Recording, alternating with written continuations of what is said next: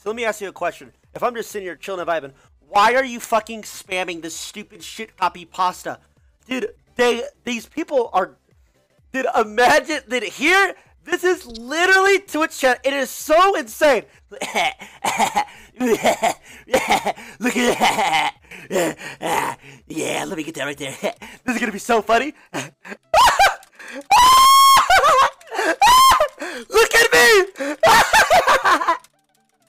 It's cringe. It's not funny.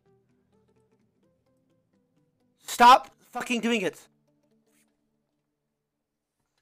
You people would do it for hours if this chat wasn't moderated. It's unhealthy.